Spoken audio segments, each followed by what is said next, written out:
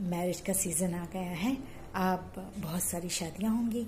देव इतनी ग्यारस कल ही बीती है। अब हम जल्दी से शादी की तैयारियों में जुटे हैं। लेकिन शादी की तैयारियाँ तो बहुत हो गई। लाखों करोड़ों बहुत खर्च हो गए। लेकिन क्या आपने असली सोने की परख की? यानी कि असली डायमंड असली सोना, जिसे आप ज्वेलरी समझ रहे हैं। मेरा कहने का मतलब वो नहीं है। मतलब क्या आपका हीरा और या आपका सोना, आपका कुंदन उतना ही अच्छा है जितना आपने सोचा। यानी आपका जीवन साथी, चाहे वो लड़की हो, चाहे लड़का हो। कितना आप एक दूसरे से एक्सपेक्ट करते हैं? चेक कीजिए। क्या चाहते हैं? तीसरी बात कितने एक दूसरे के साथ एडजस्ट करने को तैयार हैं? क्या भावनाएँ हैं? साइकोलॉजिकली क्या इश्यूज़ हो सकते हैं?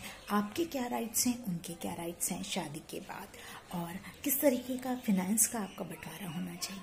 कभी बॉयज़ गर्ल्स दोनों के साइड से चकाचांद के बीच फैमिली के प्रेजेंस को देखकर एग्जिस्टेंस को देखकर फिनेंशियल स्टेटस को देखकर वो भूल जाते हैं कि इससे ज़्यादा इंपॉर्टेंट बैकग्राउंड है जो कि चेक करने वाले होते हैं बिहेवियर से लेकर, उनका लिविंग स्टाइल लेकर।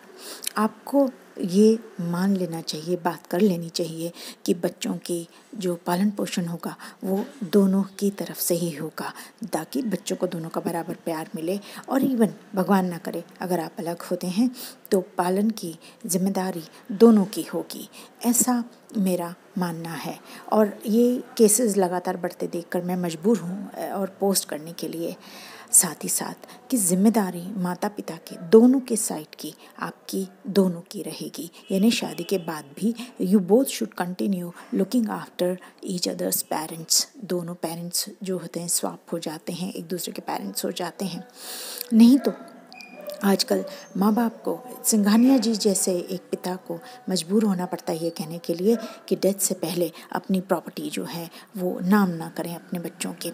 दा, ये सच है। ये आप पर भी लागू होता है, कल हो सकता है आपके साथ ये हो। So you have to see कि जो प्रॉपर्टी है, आपको मालूम होना चाहिए, अपने राइट्स मालूम होने चाहिए as a as a boy as a girl और इवन आपके बच्चों के क्या राइट्स होंगे इन केस अगर कुछ नेगेटिव हो जाता है तो प्रॉपर्टी का किस तरह से बंटवारा हो, किस तरह के प्रॉपर्टी अगर आप काम करते हैं दोनों के दोनों तो कैसे आपके आप किस तरीके की प्रॉपर्टी खरीद सकते हैं ताकि वो सही हाथों पे पहुँचे, आपके बच्चों के हाथ में पहुँचे, आप यूज़ कर सकें और उसका मिसयूज़ या अब्यूज़ ना हो। इतने सारे लॉज हैं जो कि आपको जानना ज़रूरी है, लेकिन ये सब मैरिज से पहले।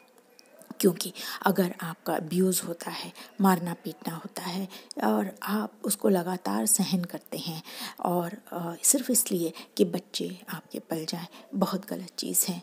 क्योंकि बच्चा जब ये देखता है लगातार, वही ट्रॉमा उसके दिमाग में छपता है और वो इमोशनल अब्यूज़ उसकी ज़िंदगी में हमेशा रह जाता है और कभी वह आगे एक अच्छी life balance life emotionally balance life नहीं बिता सकता।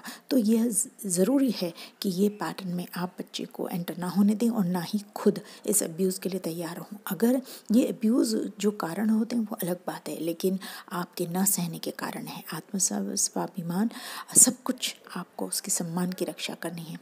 आप अपने दोस्तों से मिल सकते हैं या नहीं, कितने दोस्त बना सकते हैं, उनके साथ बाहर जा सकते हैं या नहीं, और घुल मिल सकते हैं कि नहीं सोशल लाइफ आपकी क्या रहेगी?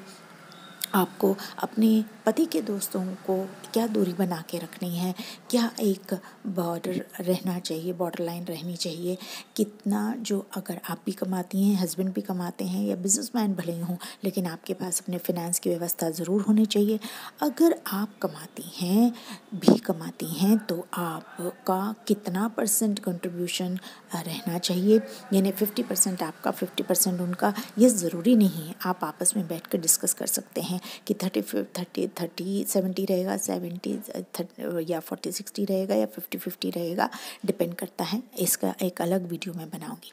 साथ ही साथ एक बहुत ज़रूरी बात कि आपको एक दूसरे के जेनेटिक्स का ज्ञान होना, यानी कि मेडिकल इश्यूज़ कहीं जो फैमिली में चलते आ रहे हैं, वो कौन से हैं? ऐसी बीमारियाँ जेनेटिक्स में साथ में आती हैं तो आप ध्यान रखिए। मैंने ये चार वीडियो सीरीज़ बनाई है मैरिज पार्टनर कैसे चूज़ करना, जो कुछ बहुत ही बेसिक्स बेसिक चीज़ें हैं, लेकिन आपको ये देखना चाहिए, ताकि आप इनिशियली जान सकें। हम अब उसी राह पर हैं कि जहाँ शादी का मौसम आया है तो ध्यान रखें।